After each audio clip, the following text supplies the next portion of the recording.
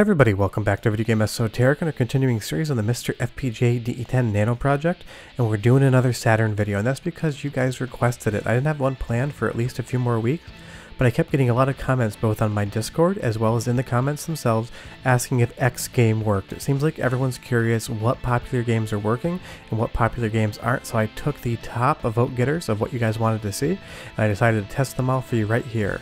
Before you get too far involved though, do me a huge favor, go down below, hit like, subscribe, that notification bell definitely helps us out. And if you feel so inclined and want to support the channel, we got a Patreon link down below as well. But right off the top, one of the biggest questions I got as to whether or not it was working on MiSTer so far was Daytona USA, because it's synonymous with the Sega Saturn, even if it's not the best port around. And you will see it is running. There are some polygon breakup issues only when you're not in control of the vehicle. It's actually really interesting. When you get control of the car, they go away completely. So I'm not sure if that's some sort of issue with the input signals, but you can play Daytona for the most part, and it does feel exactly like a Sega Saturn when it is running correctly. You'll see here I'm in position 35th off the first lap, but if you go a little further in, I'm on the 6th lap and I'm in 14th place.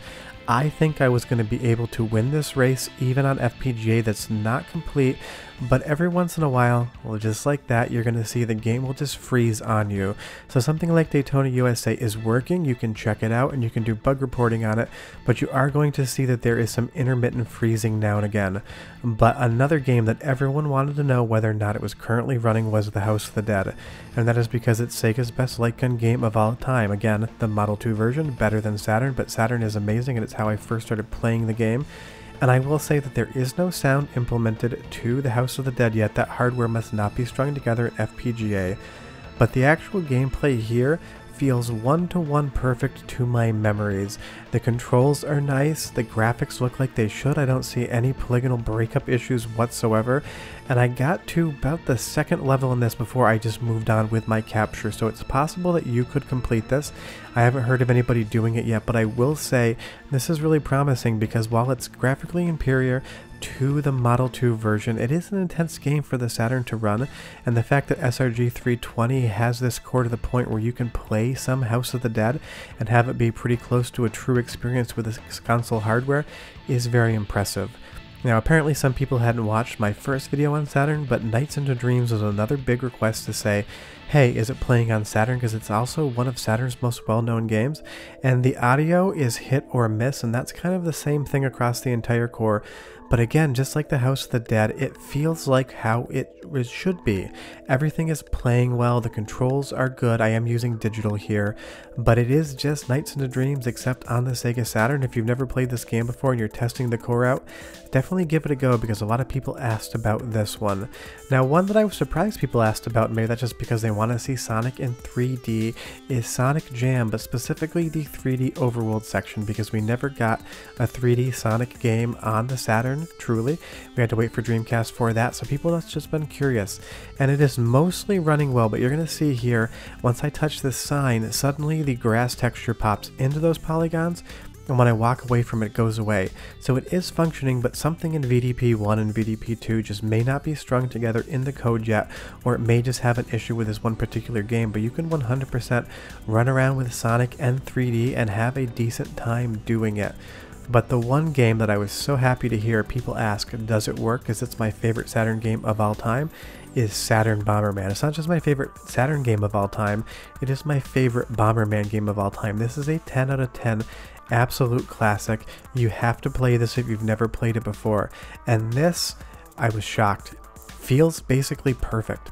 Now there is audio breakup and there is some buzzing and I will let you listen to the sound in just a moment, but honestly, this right here just feels like playing a Sega Saturn. But like I said, the audio is kind of implemented, so listen for like 45 seconds and I'll be right back.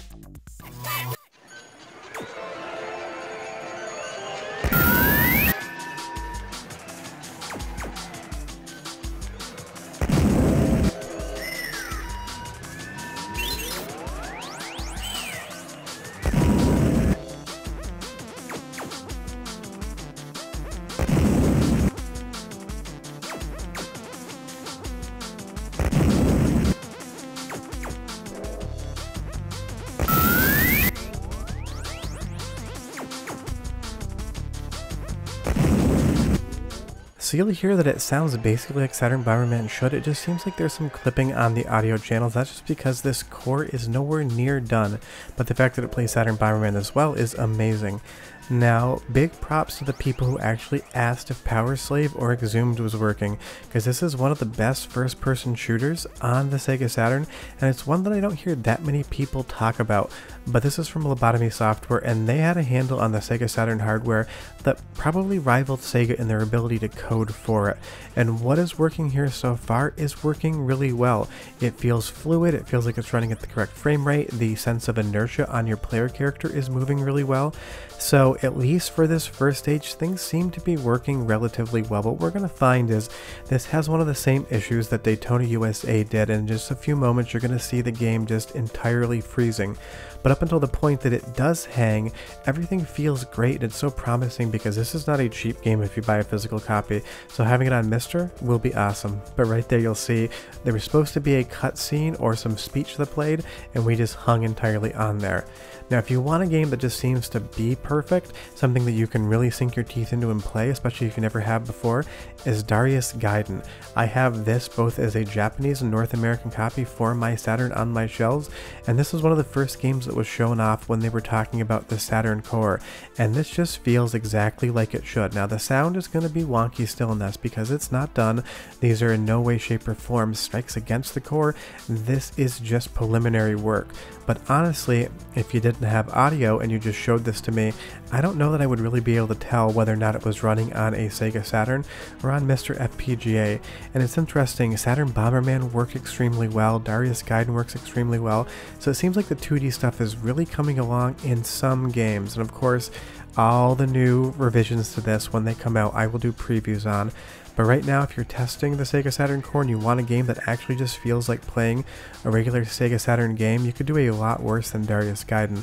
And honestly, if you've never played this game before, it's one of my favorites in the series, probably only second to G Darius or Darius. People pronounce it differently. You leave me a comment down below and tell me what pronunciation you like. But the fish segments and blows up and all these effects look like they should, and that's the impressive part. Even this water right here, this transition, looks and feels like you're actually just playing real hardware, and that's amazing considering this core isn't even done yet. But speaking of 2D things, another one that everyone asked isn't running was Astal or Astal. I'm not sure again the pronunciation. It is not my strong suit. Leave me a comment down below and tell me what I screwed up because you guys always know the pronunciation better than I do. I don't mean that in a mean way, just a fun way. But this is working relatively well. But there are some glitches on this in 2D that I don't see in stuff like Saturn Bomberman or something like Darius Gaiden. And you'll see in just a moment, sometimes some of the layers just end up disappearing. And again, I'm sure that's just an issue with VDP1 and VDP2 and how the Sega Saturn architecture and hardware handles all of these different 2D layers. Because you'll see here in just a moment as I walk forward, Suddenly, one of the layers just goes missing. I still have control of the character. You can see with those sun rays there, the game is still executing. It is not frozen.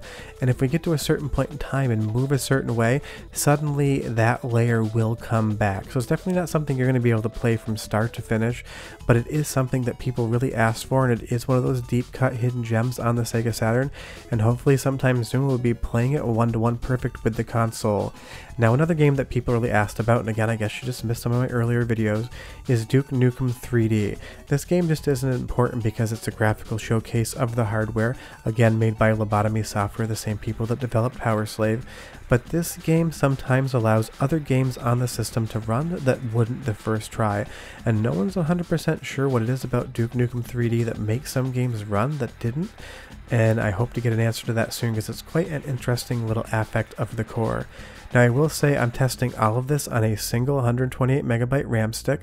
I do have a dual RAM setup, but I know primarily most people are going to be playing with one RAM stick, so I want to show something that everybody will be able to enjoy, and you even get the uh, adult theater there, and it works perfectly fine but it's so impressive to see stuff like this running on this core at this point in time and I was really surprised just how much excitement there is for this work and I'm super excited for the Saturn core to continue developing because so many people didn't play Sega Saturn back in the day.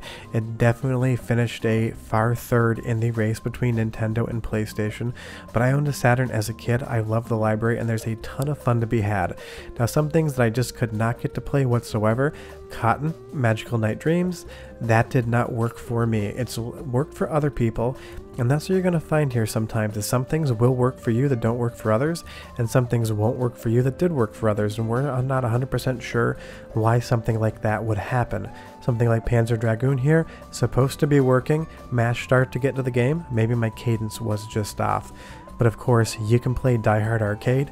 It is one of the best 3D beat 'em ups of all time, and it works relatively well on this core in its current build state. And there's not much better than running around Nakatomi Tower beating people up with a broom.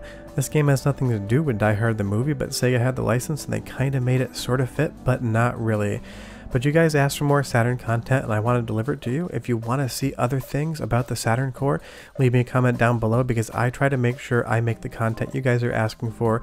And these games are the most commented on the channel and on my Discord asking, do they run? And I'm super excited to see when the next revision to this core drops. Of course, SRG 320's got some things going on right now, so it might be next week, it might be next month, it might be next year. But when it happens, I will make another video on it. Short of that, I will see you guys next time. Bye bye.